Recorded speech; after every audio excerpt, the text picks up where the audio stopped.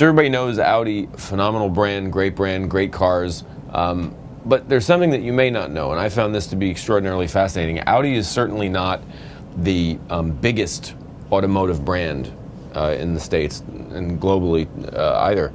Um, they're not the number two largest, but they do have the second largest population on Facebook with respect to any automotive manufacturer. That's something to be said because they certainly don't sell as many cars. They're not as big a company as like a General Motors or, or a Ford, but they do have, in proportion to the number of cars they sell, way more interactivity uh, across the social graph and within social media and on Facebook. And that's fascinating because there's something that's going on there. There's something that they're doing that maybe we can learn something from. And, and Scott Keogh was kind enough to join us. He's the CMO of Audi. He's kind enough to join us and share with us some of the lessons that they've learned in the social media space. And why is it that even though they don't sell, um, you know, the, the second highest number of cars in the country, how do they have all those passionate fans that want to go out and talk about the brand?